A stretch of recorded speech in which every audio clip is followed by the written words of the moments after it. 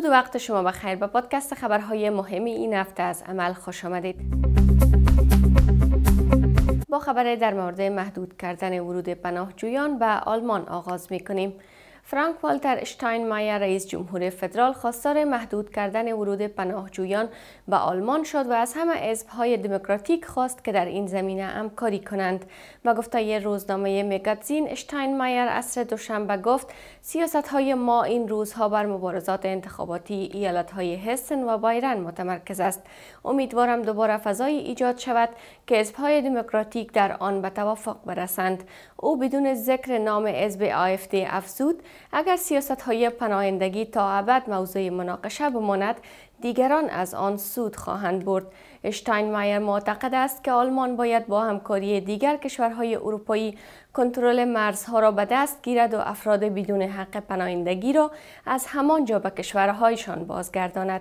او گفت اگر این مقررات را انجام دهیم ورود پناهجویان به خاک آلمان کاهش خواهد یافت. تنها یک هفته پس از جشن وحدت ملی آلمان در هامبورگ های آلمان و فرانسه نیز به های نهم و دهم اکتبر در این شهر ملاقات خواهند کرد. این مذاکرات که قرار است در هتل لوئیس یاکوب در الپ شاسی هامبورگ برگزار شود در آن اولاف شولز صدر اعظم دولت فدرال و کابینهش با امانوئل مکرون رئیس جمهور فرانسه و وزرای کشور همسایه دیدار می کنند گفته می شود بازدید از شرکت ایارباس نیز بخش از برنامه های این دیدار است بزرگترین بخش این شرکت هواپیمایی در فرانسه قرار دارد و ستون مهم همکاری آلمان و فرانسه است. اتحادیه پلیس برلین سه ماه پیش از آغاز سال نو خواستار ممنوعیت آتشبازی در حلقه اسپان یا اسپانغنگ برلین شده است. و گفته شبکه آر بی بی 24 اشتفان و رئیس این اتحادیه در گفتگو با خبرگزاری دی پی آ گفت از آنجا که تغییر قانون سراسری در این سه ماه امکان پذیر نیست محدودیت آتشبازی در محله های گوناگون قابل تصور است.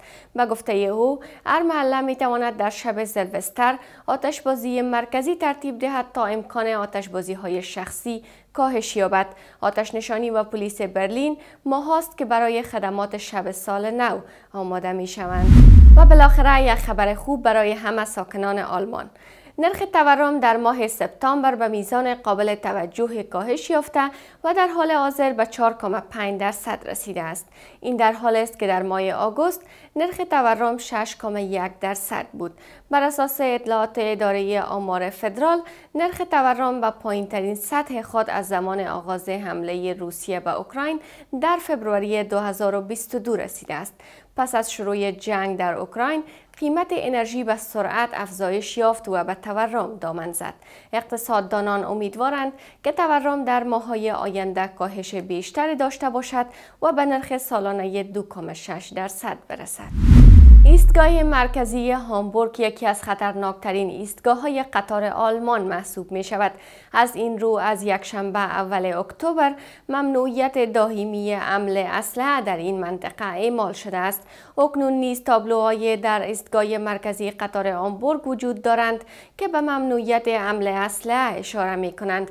ممنوعیت دائمی اسلحه از اول اکتبر برای ایستگاه مرکزی قطار و نیز برای تونل های ارتباطی زیرزمینی مناطق هایدی کابل پلاتس، هاخمن پلاتس، ایستگاه مرکزی اتوبوس و مناطق اطراف دروب این اعمال شده است. این قوانین واکنش پارلمان هامبورگ به افزایش تعداد جرایم در شلوغترین ایستگاه قطار آلمان است.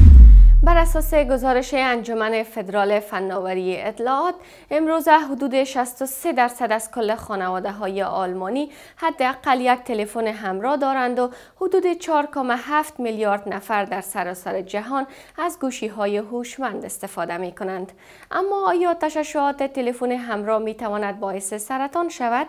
بر اساس اطلاعات دولت فدرال استفاده از تلفن های هوشمند خطر ابتلا به سرطان را افزایش نمی‌دهد. مطالعات اداره فدرال حفاظت در برابر تششعات نشان می دهد که طبق وضعیت فعلی تحقیقات هیچ مدرک دال بر آسیب به بدن انسان ناشی از تششعات تلفن همراه وجود ندارد. با آنکه تششعات می تواند بافت بدن را گرم کند اما قادر به شارژ الکتریکی اتم ها یا مولکول ها نیست. از این رو نمی تواند ماده ژنتیکی را تغییر دهد و یا باعث سرطان شود. از توجهتان به پادکست خبرهای این هفته سپاس گذاریم.